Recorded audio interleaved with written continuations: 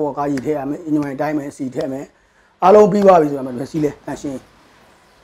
အဲ့ဒီမှာဘာဖြစ်ထွက်လာလဲဆိုတော့ဒီဒီလိုဂျားရည်မှာညှက်ထားတယ်ကွန်ထရီတုတ်ကွန်ထရီတုတ်မစားနိုင်မဟုတ်စားပါတ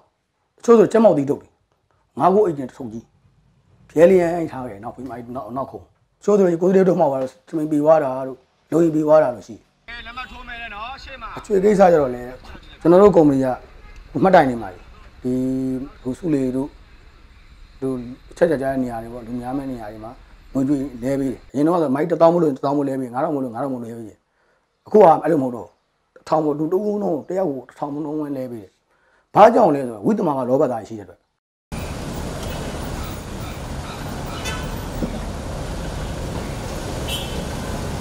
ရင်လိုင်းပေါင်း89ထိအကုန်လုံးပါပြီပြက်ကလေးက2019ကိုလာမယ့်2018ကိုသုံးလို့ရမယ် ဒီမှာကျတော့ကျွန်တော်တို့နိုင်ငံတော်ကကုမ္ပဏီတွေနဲ့ရှယ်ယာလုပ်ပြီးတော့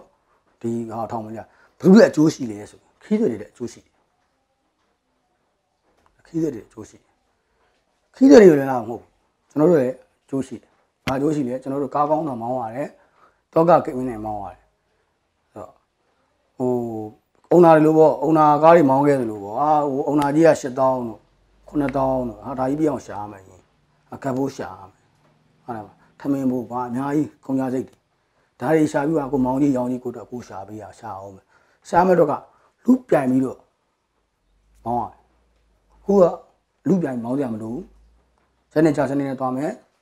လိုင်းတင်တယ်မှတ်တယ်ရောင်းရက်တယ်တကားဖွင့်ပေးမယ်အစီအစဉ်ဟုတ်ဘာအကျိုးရှိတာလဲဆိုတော့ခီးသွားပြီသူတွေကားကောင်းတာစီးရတယ်အရင်တော့ချွေးလုံးတန်တန်တလုံးနဲ့စီးရတာအခုလှမ်းပြုတ်ဘူးအေးစေးပဲထိုင်ကုန်လေးနဲ့စီးရတယ်။အဲ ယာကွန်နဲ့စီးရတယ်။ဒီအစိုးရ